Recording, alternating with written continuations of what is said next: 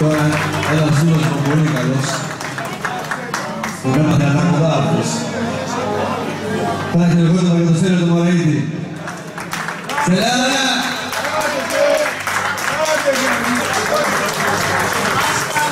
Ευχαριστώ και εγώ με τη σειρά μου τον φίλο μου τον Νίκο που διοργάνωσε αυτή την όμορφη βραδιά που έχω πολλά χρόνια να πω καλούς φίλους παλιούς και συνεργάτες.